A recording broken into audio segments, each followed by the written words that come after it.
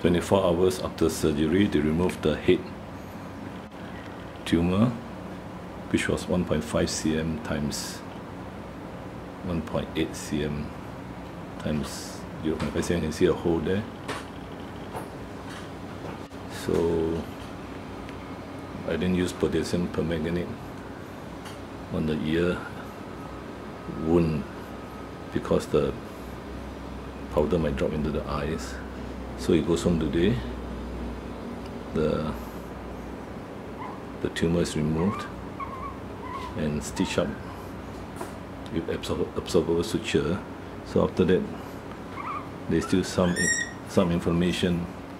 As you can see there, the neck is still reddish. So we give a wash. Ask the owner to wash, and then the owner will cut the nails, give eye drops give eye, eye, eye ointment better to protect the eyes before they wash.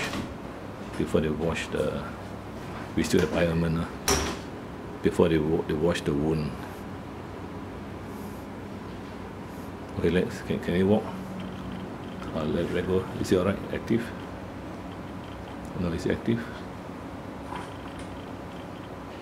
Did he pass stools? Yes. Pass stools, uh, a lot? Yeah. Mm, they seem to have lost some weight. Now, there's a generalized skin infection actually, which the owner didn't know. Okay, put in.